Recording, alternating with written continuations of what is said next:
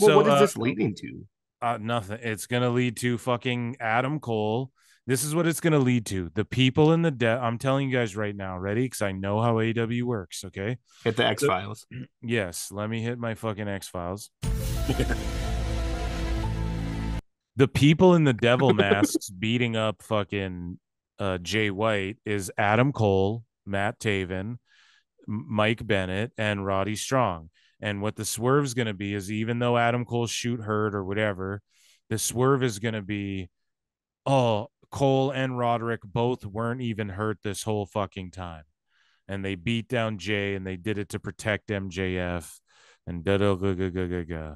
That's what the fuck it's gonna be. Oh, but if he's really injured, how come he wasn't? Because it was fucking Chris Daniels under the mask.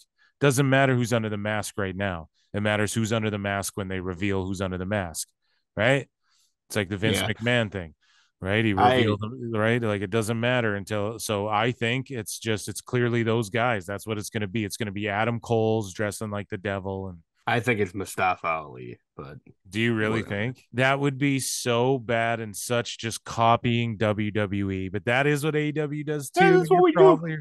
Oh, I- dude. I'm I'm sorry for this Oh, side thing. I had someone arguing with me earlier on uh, social media that AEW is wrestling and WWE is sports entertainment, and I was all like, "So why are they pushing a sports entertainer as like their biggest draw?" And because that's what they they want to be. They wish they could be that.